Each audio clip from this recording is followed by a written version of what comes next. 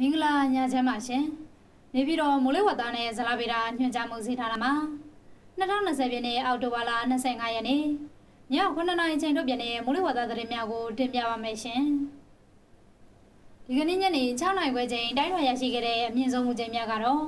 နေပြည်တော်မှာ33ဒီဂရီစင်တီဂရိတ်61ဒီဂရီဖာရင်ဟိုက်ရန်ကုန်မြို့နယ်မန္တလေးမြို့တော်မှာ34ဒီဂရီစင်တီဂရိတ်63ဒီဂရီဖာရင်ဟိုက်စီတို့ဖြစ်ကြပါတယ်။ ဒီကနေ့ညနေ6နာရီခွဲချိန်မိုးလေဝသကြိုးတို့မှာဖန်ရရှိတဲ့ပုံရမင်္ဂလာပင်လယ်အော်တောင်ပိုင်းမှာတိမ်ထူထပ်နေပြီကပလီပင်လယ်ပြင်နဲ့ကျမ်းမင်္ဂလာပင်လယ်အော်တို့မှာတရတဲ့တင်ဖြစ်ထွန်းနေပါတယ်မြန်မာနိုင်ငံပေါ်မှာကတော့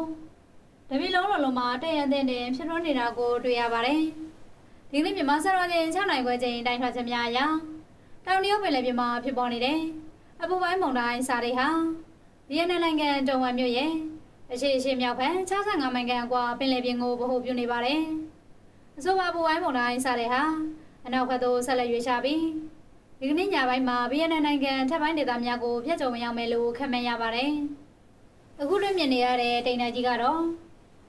ဖလပိုင်ကျွန်းစုံများကိုဖျက်ချော်နေတယ်။တိုင်ဖုံးမုန်တိုင်းမိုးလေးပဲဖြစ်ပါတယ်။အဆိုပါတိုင်ဖုံးမုန်တိုင်းမိုးလေးဟာအနောက်ဘက်သို့ရွေ့ရှာလျက်ရှိပါတယ်။ဘင်္ဂလားပင်လယ်အော်အခြေအနေကတော့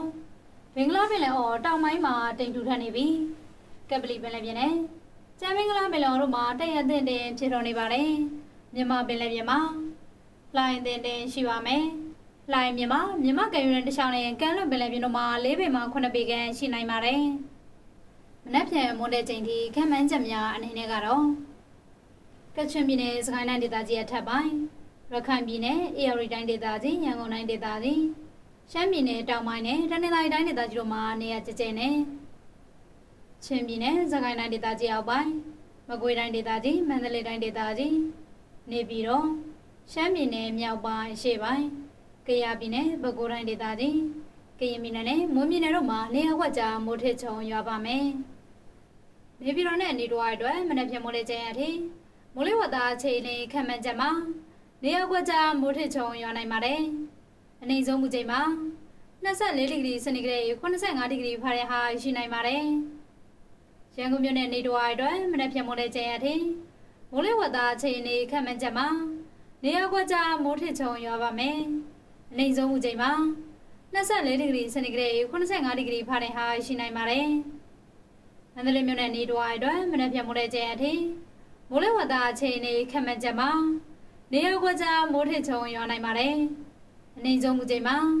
26ဒီဂရီစင်တီဂရိတ်89ဒီဂရီဖာရင်ဟိုက်ရှိနိုင်ပါတယ်။နောက်နေ့အတွက်ခက်မချက်နေနေကတော့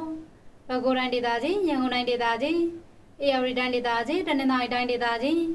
ကယားပြည်နယ်ကရင်ပြည်နယ်နဲ့မွေးပြည်နယ်တို့မှာနေရာစိတ်စိတ်မိုးထစ်ချုံရွာနိုင်ပါတယ်။ထူးခြားမိုးလေဝသအခြေအနေတဲ့ဒီကနေ့မြန်မာစံတော်ချိန်တနင်္လာရီခွဲချိန်တိုင်ထွာချက်များအရာအရှိဘမှာရွေးချလာတဲ့လေပူလိုက်များရဲ့အရှိန်ကြောင့် 28ရက်10လ2020မှာ31ရက်10လ2020ရက်နေ့အတွင်းစကိုင်းတိုင်းဒေသကြီးအောက်ပိုင်းမန္တလေးတိုင်းဒေသကြီးမကွေးတိုင်းဒေသကြီးရှမ်းပြည်နယ်တောင်ပိုင်းချင်းပြည်နယ်နဲ့ကယားပြည်နယ်တို့မှာနေရာကျကျနေပြီးတော့ပဲခူးတိုင်းဒေသကြီးရန်ကုန်တိုင်းဒေသကြီးအေရီတိုင်းဒေသကြီးနဲ့ရခိုင်ပြည်နယ်တို့မှာနေရာစိတ်စိတ်နဲ့တနင်္လာရီတိုင်းဒေသကြီးကရင်ပြည်နယ်နဲ့မွန်ပြည်နယ်တို့မှာနေရာနှံ့ပြားမိုးထစ်ချုံရွာနိုင်ပါတယ်အခုတင်ပြခဲ့တာကတော့ ဒီကနေ့ည9နာရီချိန်ထုတ်ပြန်တဲ့မိုးလေဝသသတင်းများပဲဖြစ်ပါတယ်။ကိုယ်စိတ်နှပြချမ်းမှချမ်းသာကြပါစေရှင်။